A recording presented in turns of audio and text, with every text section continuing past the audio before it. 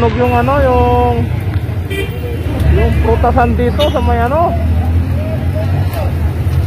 Tawag nito, dito may prutasan pero alam ko ano no, ito yung ano eh.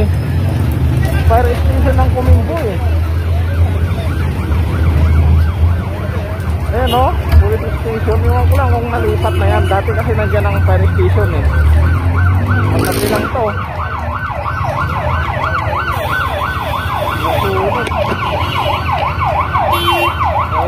Na, natupok na sa loob. Ano si ate lumabas? May mga tao sa taas. May mga tao sa labas, dapat lumabas na. Lumag mo, isa may ano dyan, may bumbero dyan.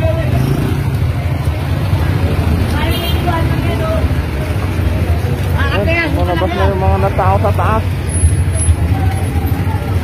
Mga tao sa taas, lumalabas na yan, isa-isa. Malakas na yung ano, ramdam ko na yung init dito.